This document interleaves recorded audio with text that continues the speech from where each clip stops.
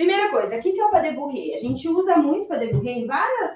É, em vários momentos ali da nossa aula, a gente pode usar o pas de bourrée, desde a barra, peraí. Oi, vai, criatura. Minha filha tentando subir no sofá desde a barra, né, do, do, do, nosso momento barra, ali a gente pode usar o pas de bourrée, e a gente pode usar no centro, que é uma das, das maneiras mais, que a gente mais usa mesmo, né? Depois que a gente começa a fazer aula ali, que a gente é, começa a fazer as, os movimentos no centro, aí tem muita coisa de pas bourrée. Então, o que, que é o pas de bourrée? Pas bourrée, basicamente, ele é feito em três passos. Então, eu piso, eu abro e eu fecho. Isso é para deburrer. Pisa, abre, fecha. Pisa, abre, fecha. Não importa em qual direção, não importa se é trocando ou não trocando as pernas, vai sempre ser pisa, abre, fecha. Então, eu posso ter um pas de bourrée, por exemplo, numa sequência de giros, né, numa diagonal, por exemplo, eu posso estar tá lá, preparei 7, 8, aí eu posso fazer um tom B e na sequência eu tenho o pas de pisa, abre fecha.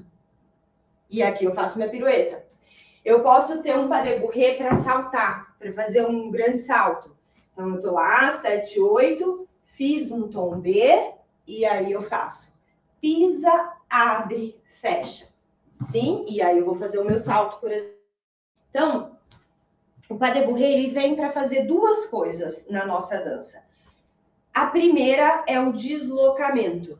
O pas ele é um passo que sai do ponto A e chega no ponto B. Então, eu estou aqui, eu piso, eu abro, cheguei lá do outro lado. Então, existe um deslocamento. Esse deslocamento ele pode ser lateral, como ele pode ser para frente. Eu piso, eu abro, eu fecho. Pode ser para trás, pode acontecer em qualquer direção o pas de bourrée. Tanto para frente, quanto para trás, quanto para um lado, quanto para o outro. É, além de ser um passo de deslocamento que me tira de um ponto A e me leva para um ponto B, ele também é um passo que faz a emenda entre outros passos. Então, eu posso ter, por exemplo, um tom B, e aí eu tenho um pas de bourrée para me colocar na preparação de fazer uma pirueta. Então, além dele me levar de um lado para o outro, ele ajuda eu a emendar um passo no outro. É, como é que a gente faz o pas de bourrée? Sim, a gente vai aprender agora. O que, que acontece para a gente aprender pas de? Eu posso sair com o meu pas de da primeira posição. Quando a gente é, começa a aprender balé, mesmo adulto, milhões de live, né, Sônia? Quando a gente começa a fazer balé, mesmo adulto, eu gosto, eu, Mari, tá? De ensinar o pas de sem o coupé. O que, que eu quero dizer? Eu posso fazer pas de assim, vou lá, meu pé arrasta, eu subo e ele fecha. Como eu posso fazer para deburrer por coupé? Tô lá, tiro e fecho. Sim? Então dá para a gente fazer das duas maneiras. Eu gosto de não associar o coupé no começo. Por quê? Já tá difícil para a bailarina entender três passinhos. Um, dois, três. Já tá difícil para ela ali trocar as pernas, não trocar as pernas. O que, que o braço faz? Cadê o equilíbrio?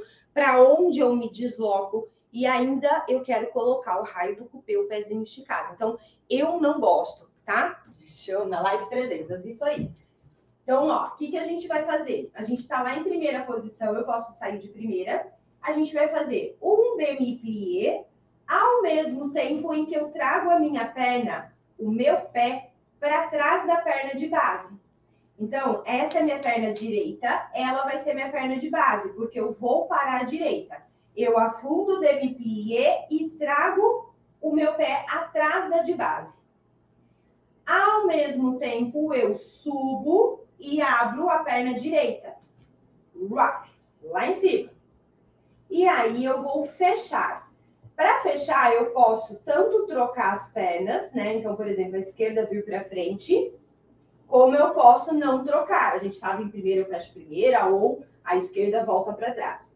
Vamos supor que a gente vai sair de terceira posição, só para vocês entenderem o que é trocar e o que não é trocar. Eu posso ter um pas de bourrée saindo de terceira posição, onde a perna esquerda está atrás e ela termina na frente. Então, é um pas de bourrée que eu troco de perna. Como eu posso ter um pas de onde a perna esquerda está atrás e ela continua atrás? Se posso trocar, como posso não trocar? Posso ter um pas de que se desloca para a lateral. Então, estou aqui, vou para a direita. Pisa, abre e fecha na frente. Trocando, por exemplo. Vou para a esquerda. Pisa, abre e fecha na frente. Então, aqui eu estou sempre trocando. Me desloquei para a direita, me desloquei para a esquerda. Agora eu vou me deslocar para frente. Como é que eu vou fazer para frente? Demi-plié, pisa, abre para frente. E fecha. Vou me deslocar para trás. Demi-plié, agora é a perna direita quem pisa. E eu abro para trás. E fecho. Sim? Então, a gente pode ter pas de bourrée em todas as direções.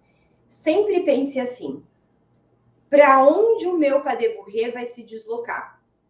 Ah, para a direita. Então, a perna tem que abrir para a direita. Ah, para frente. Então, a perna tem que abrir para frente. Ah, para trás. Então, a perna vai ter que abrir para trás. E aí, a gente cria esse deslocamento. Show?